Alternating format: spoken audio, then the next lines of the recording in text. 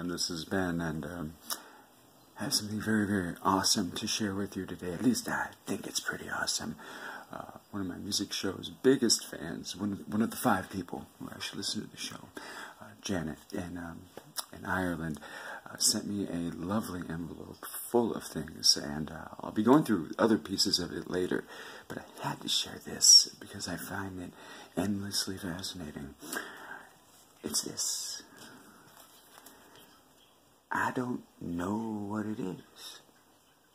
Is it like, uh, at first I thought it was like a lobster, and like with Mardi Gras beads, you know, because Mardi Gras was last week, and I'm thinking, wow, that's kind of cool that they celebrate Mardi Gras in Ireland.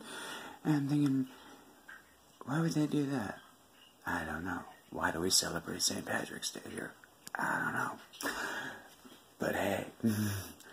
and then as I got to look at it, I realized it may not be a lobster thing with Mardi Gras beads.